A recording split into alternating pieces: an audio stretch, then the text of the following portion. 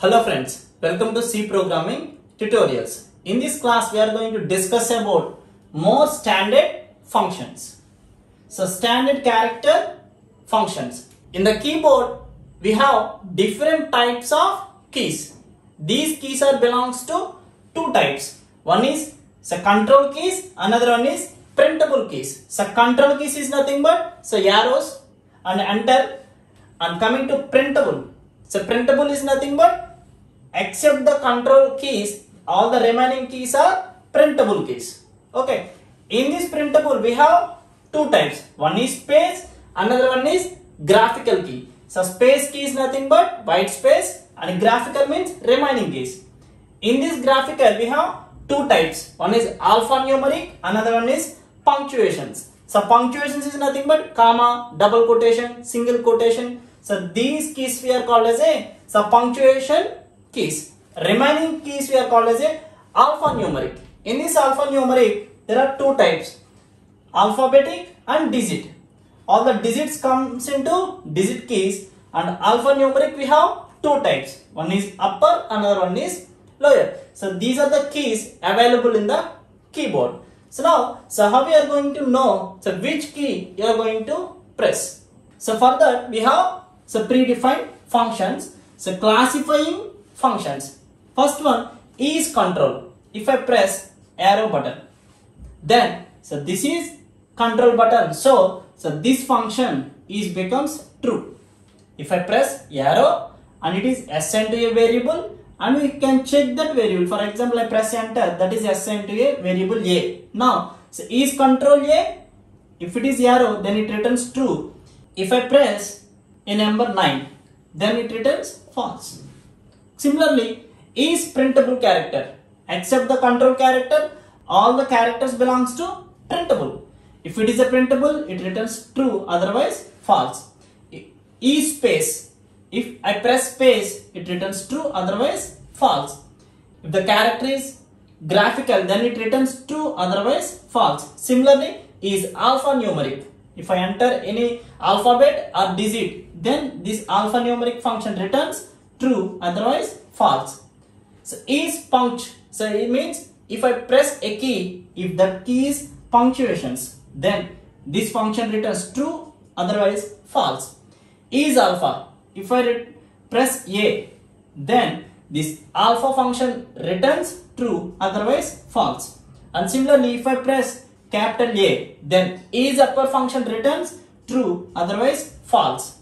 Is lower. If I press small a, then is lower returns true, otherwise false.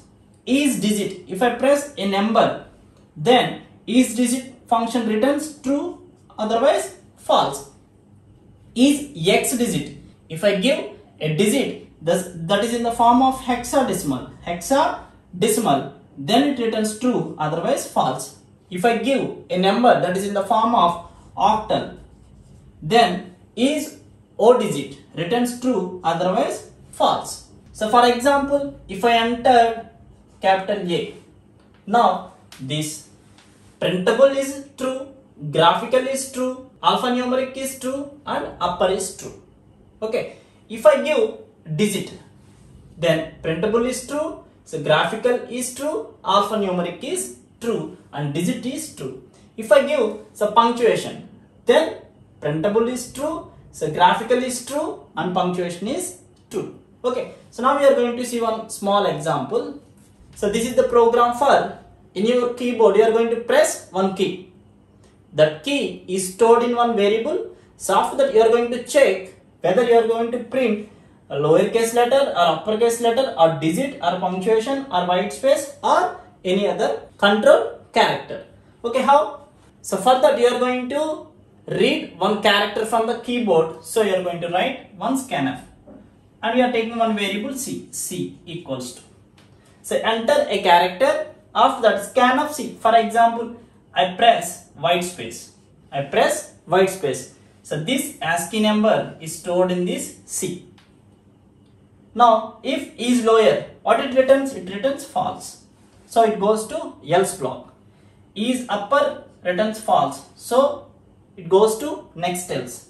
Is digit false. so it goes to next. Else if is punctuation false? So it goes to so next else here e space it returns true. So we print white space. If i enter 9 c equals to 9 now. If is lower false. Is upper false. Is digit true.